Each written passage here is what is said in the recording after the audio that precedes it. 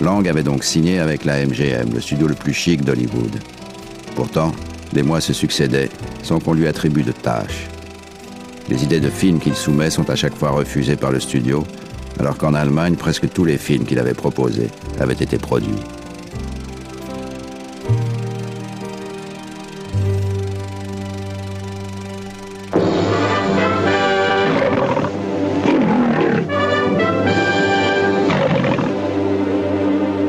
Fritz Lang va finalement tourner son premier film américain, Fury, avec Spencer Tracy et Sylvia Sidney. C'est l'histoire d'un homme qui passe par hasard dans une petite bourgade et se voit accusé de meurtre. Dans ses films allemands, Lang avait étudié les lois de la meute. Dans Fury, il transpose ce savoir au contexte américain.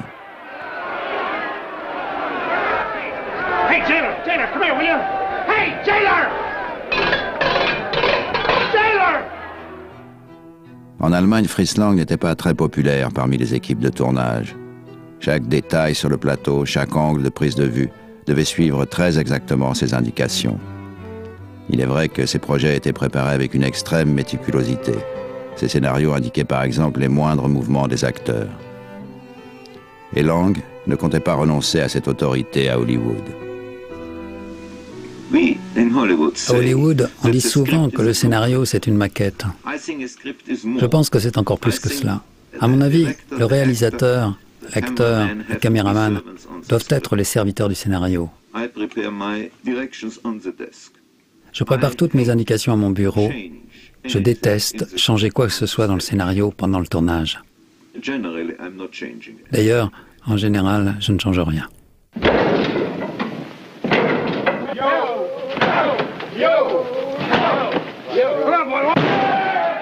Si Fritz Lang finissait par avoir sur l'écran exactement ce qu'il voulait, cela n'était pas sans laisser de traces sur les acteurs et les techniciens, comme cela avait été le cas en Allemagne. Pendant les tournages, il exigeait de travailler 18 heures par jour. Il refaisait faire les prises indéfiniment. On dit que Spencer Tracy le détestait. La MGM vira Fritz Lang le dernier jour du tournage. Sans doute s'était-il fait des ennemis. Mais il avait aussi donné à Spencer Tracy un de ses plus beaux rôles.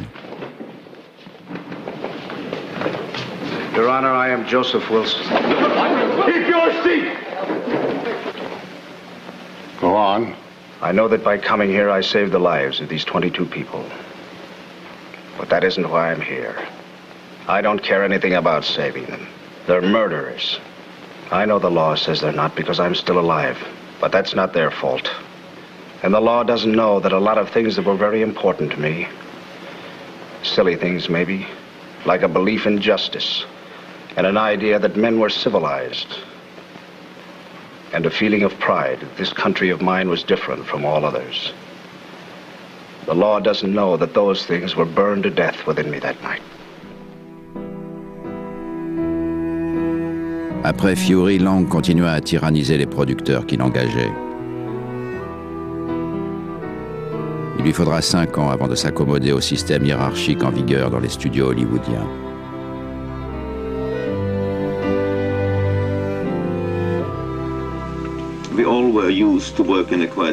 Nous étions habitués à travailler d'une manière tout à fait différente. Nous avons dû nous adapter à une nouvelle mentalité, à une nouvelle culture.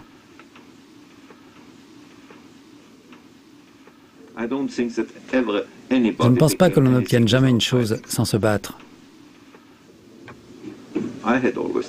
J'ai toujours eu à me battre pour cela. Cette année-là, il accepta de tourner à Western pour la 20th Century Fox et arriva sur le plateau avec des bottes de cow-boy et non des jodes purs allemands. Il avait échangé son monocle traditionnel contre des lunettes. Il respecta le règlement des studios. À la fin du tournage, la Fox offrit à Lang un second film.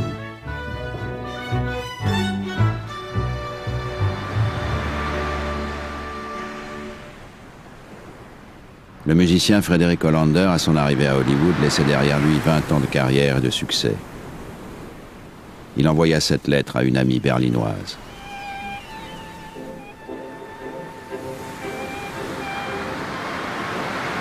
Chère Blandine,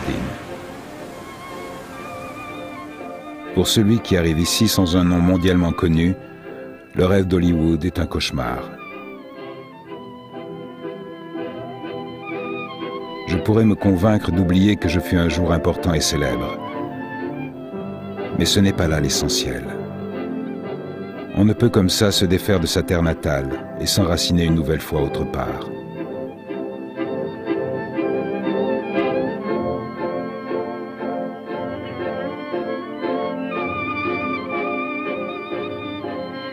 Je ne me suis jamais battu si dur, même lorsque j'ai commencé au tout début, pour la première fois.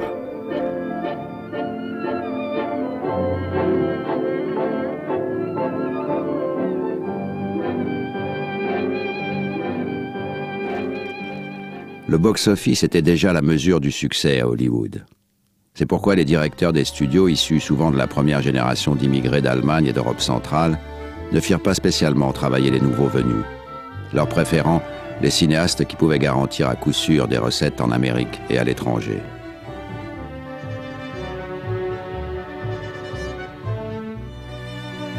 En 1935, la Warner décide d'arrêter de distribuer ses films en Allemagne nazie, alors que la MGM et la Paramount continueront de le faire jusqu'en 1940, allant jusqu'à enlever les noms juifs des génériques pour contourner la censure allemande.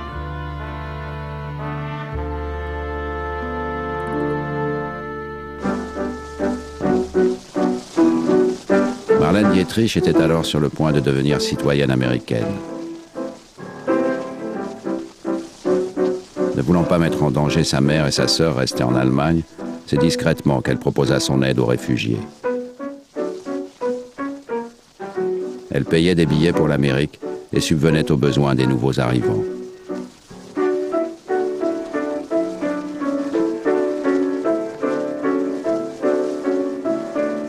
Avec Ernst Lubitsch, ils fondèrent en secret une chaîne clandestine de solidarité pour aider d'anciens collègues et leurs familles coincés en Allemagne.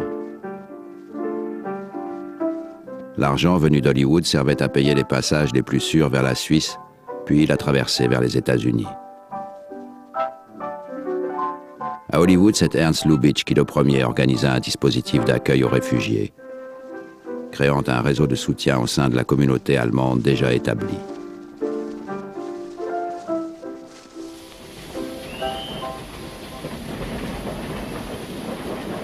En 1936, les Juifs furent également interdits de travail dans l'industrie cinématographique autrichienne. Les réalisateurs et les acteurs ainsi bannis arrivèrent en Amérique, y compris la star de M. le Maudit.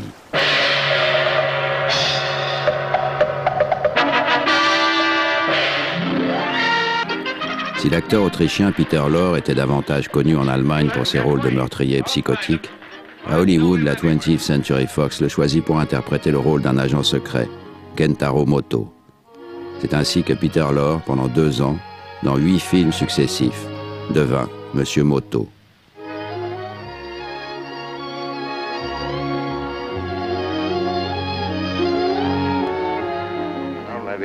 Quand la série est terminée, le cinéaste John Huston choisit Peter Lorre pour jouer Cairo dans Le Faucon Maltais.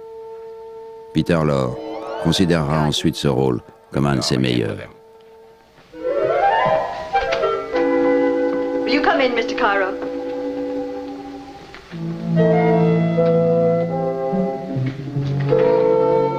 You sit down, Mr. Cairo. Thank you, sir. Now, what can I do for you, Mr. Cairo?